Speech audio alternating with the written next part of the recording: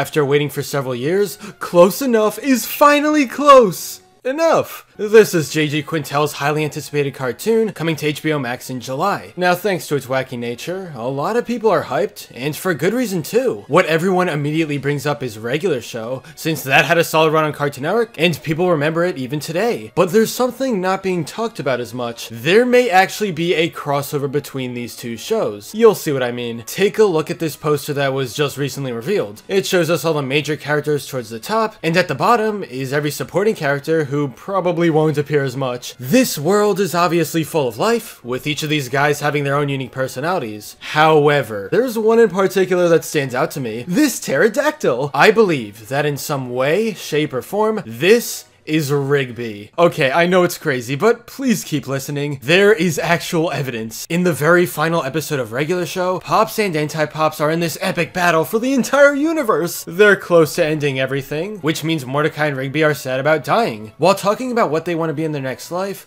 Mordecai says that he wants to come back as a dolphin, but listen to what Rigby has to say. Oh, good one. Me too. No, wait, an eagle. No, a pterodactyl with a really big.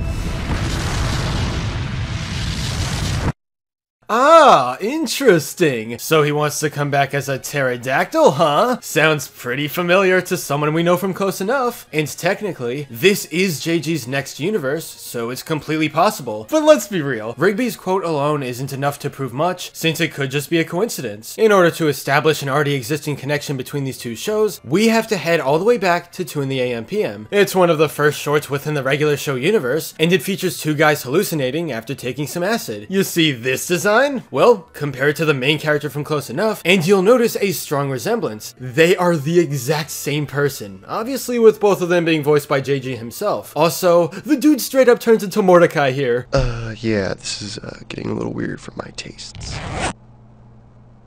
especially right now. What does all of it mean? That Close Enough's protagonist already holds a small connection to the Blue Jay we've had a fun time watching on regular show. It's like Mordecai in an alternate universe, so we know that these worlds are connected. That immediately makes the Rigby pterodactyl theory a bit more plausible, but there's one final piece to all of this his voice. Rigby has a distinct personality, and it's his voice actor that manages to get all the complex emotions across in an amazing way. This is the man behind our favorite animated raccoon, and his name is William Salyers. Now, if he were to have some kind of role in Close Enough, that would help even further with the connection. In March 2019, he was asked if this series was still happening. Keep in mind, this is when there was very little information, so there were a ton of questions floating around about if Close Enough was cancelled or not. As far as I know, it's still happening. I saw JG a few months ago, and he was hard at work on it. Guess we'll just have to be patient. Wait a second, he saw JG in person? Hmm, I wonder why. To voice someone on the show, maybe? Later, a fan on Twitter asked straight up if he would be in it, and he said, I sure hope so, with a wink. Fast forward to present day, and I actually asked him myself about it to see if we would get any concrete answer. I couldn't tell you yet if I did, but there's always a chance. Smiley face. Alright, so it looks like he's under a non-disclosure agreement, meaning he can't say much about his upcoming projects until they've actually released. Based on this tweet, he doesn't 100% have a role on Close Enough, but I do think it's way more likely. If he definitely wasn't voicing a character,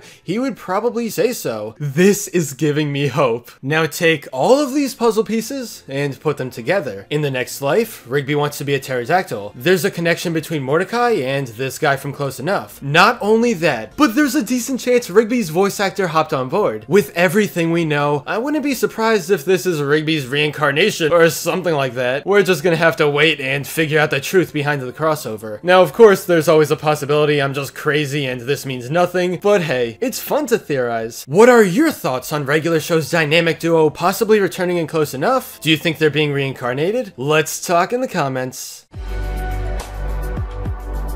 But anyway, that's all for this video. Subscribe for more awesome cartoon videos. Give a thumbs up and comment below let me know what you think. Thanks for watching, and I'll see you guys next time.